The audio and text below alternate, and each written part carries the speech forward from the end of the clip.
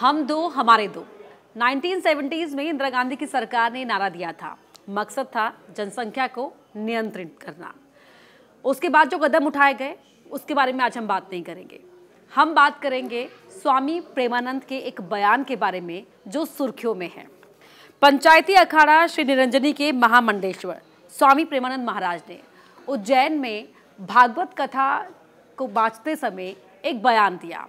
तमाम महिलाएँ दर्शकों में थी, उनके भक्तों में, श्रोताओं के तौर पर वहाँ मौजूद थी, जब उन्होंने मंच से कहा कि हिंदू महिलाओं को ये सही वक्त है जब ये फैसला लेना चाहिए कि उन्हें चार बच्चों को जन्म देना चाहिए। जी हाँ दो नहीं, चार चार बच्चों को हिंदू महिलाएँ जन्म दें।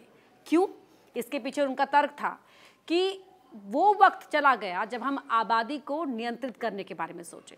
अगर हम चाहते हैं कि हिंदुस्तान हिंदुस्तान रहे तो फिर हिंदू महिलाओं को चार चार बच्चे पैदा करने चाहिए।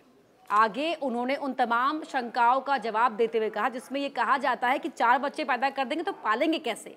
उन्होंने कहा कि हिंदू महिलाएँ चार बच्चे पैदा करें, दो खुद पालें और दो हमें पालने को दे दें। ऐसा उन्होंने क्यों कहा? उनका वो पूरा बयान क्या था?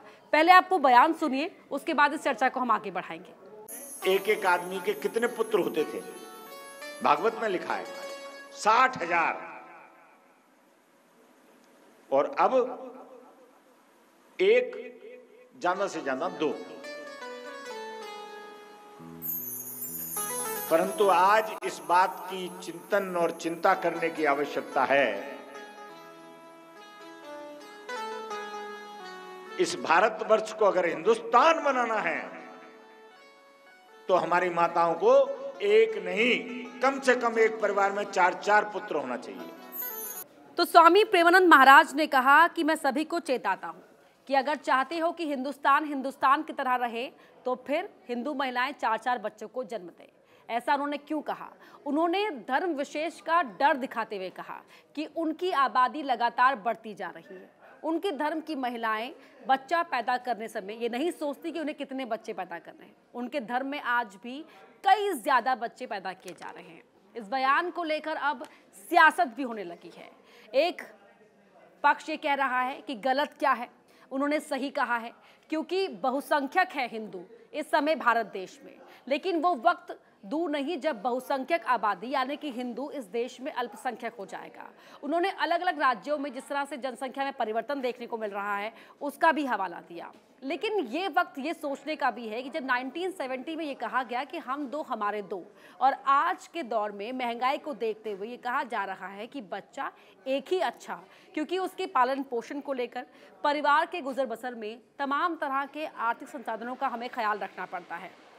और सिर्फ़ आर्थिक संसाधन ही नहीं, बल्कि हम जो नेचुरल रिसोर्सेज की बात करते हैं, उनको लेकर भी ये कहा जाता रहा है कि नेचुरल रिसोर्सेज भी लिमिटेड है। तो ऐसे में ये कहना कि दो नहीं, तीन तीन नहीं, चार चार चार बच्चे पैदा करें, कहाँ तक? तर्क संगत है। इसको लेकर सभी के अपने अपने पक्ष हैं, लेकिन यहाँ ज़िक्र करना ज़रूरी हो जाएगा। 2019 में जो प्रधानमंत्री मोदी ने जनसंख्या नियंत्रण को लेकर बयान दिया था, उसका मैं यहाँ पर ज़िक्र कर रही हूँ, और उसमें प्रधानमंत्री मोदी ने क्या कहा था वो आपको बताते हैं। प्रधानमंत्री मोदी ने 15 अगस्त के मौके पर देश के लोगों से छोटे परिवार की अपील की थी।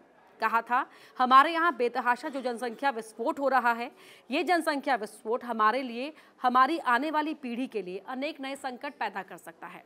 प्रधानमंत्री ने 2019 में मंच से इस बात को लेकर चिंता व्यक्त की थी। और ये चिंता सही भी है, क्योंकि आज भारत देश की आबादी, चीन की आबादी को पीछे छोड़ चुकी है।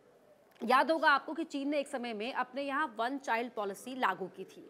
तीस, लगभग तीस साल तक वो पॉलिसी रही, लेकिन अब चीन ने अपनी उस पॉलिसी पर रोल बैक कर लिया है। चीन की चिंता ये है कि उनके यहाँ ज़्यादा जो आबादी है वो बूढ़ी आबादी है।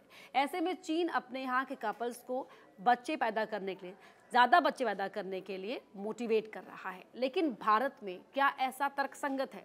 क्योंकि भारत में जो मिडिल क्लास है, वो पहले से ही कई तरह की आर्थिक मजबूरियों के बोझ में दबा हुआ है। ऊपर से फिर अगर हम धर्म की अगर तुलना करते हैं तो ऐसे में यहाँ पर सवाल ये उठता है कि हिंदू महिलाओं को ये कह देना कि आप चार बच्चे पैदा कीजिए, दो हम पालेंगे, दो आप खुद पालिए, ये कितना तार्किक है? यहाँ पर सवाल तमाम जो महिलाएँ वहाँ पर बैठी थी, उनको लेकर भी उठाए जा रहे हैं। ये कहा जा रहा है कि उनमें से किसी भी महिला ने इस बात को लेकर हामी नहीं भरी। तो फिर क्यों धर्म विशेष का डर दिखाया जा रहा है? सियासी, वार, पलटवार, इन तमाम चीज़ों को लेकर हावी है। लेकिन यहाँ पर ज़िक्र करना होगा, एक ऐसी पॉलिसी को लेकर भी तो जनसंख्या नियंत्रण कानून की हम बात करते हैं। भारत के अंदर जनसंख्या नियंत्रण को लेकर सख्त कानून हो, सख्त कदम उठाए जाए, ये बहस हर बार छिड़ती है, लेकिन ये बहस कहाँ पिछड़ जाती है? ये बहस पिछड़ जाती है धर्म के मोर्चे पर आकर। क्योंकि हिंदू, मुसलमान, जैसे ही हम जनसंख्या नियंत्रण की बात करते हैं, पूरी बहस हिंदू, मुसलमान के इर्द गिर्द होने लगती है। ऐसे में मुस्लिम समाज के लोग अपने धर्म की नीतियों का हवाला देते हुए कहते हैं कि जनसंख्या नियंत्रण कानून या सख्ती से इस कदम को उठाए जाना कहीं से भी सही नहीं है। अगर हम बात करें तो आरएसएस जो है, वो लगातार इस बात को लेकर मोदी सरकार को दबाव बनाता रहा है या कहता रहा है कि जनसंख्या नियंत्रण कानून होना चाहिए।